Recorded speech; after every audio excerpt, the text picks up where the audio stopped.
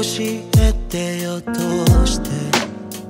そろそろ不機嫌なのやめて。ずっと寂しがってたわけならなんとなくわかって。ごめんね。唇とがらせ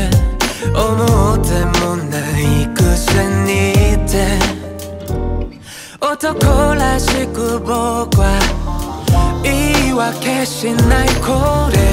以上いつも裏腹僕だけが全部裏腹悪いのさ。怒っても気持ちもわからずも。プライドも持ってただけで。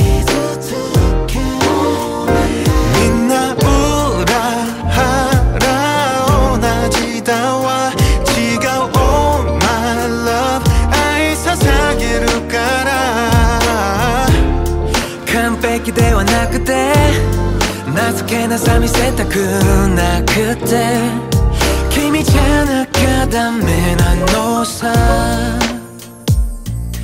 ごめんと言えたら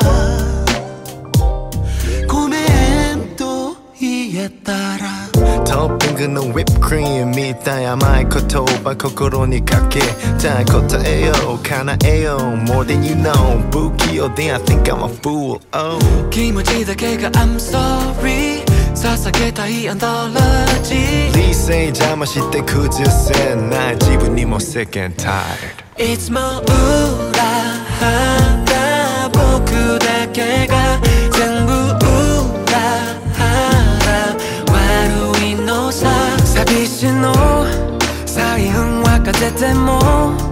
踏み込めず見ていた。だけで君じゃなきゃダメなのさ。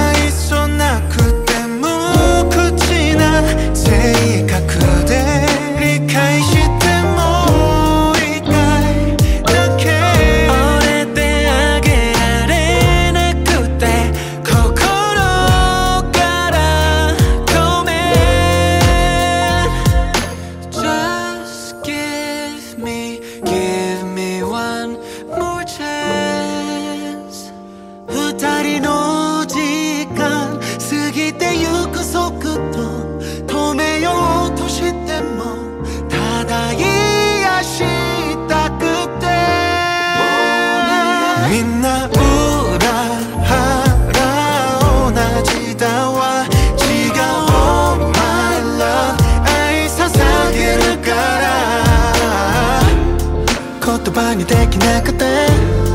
悲しませる僕を許して。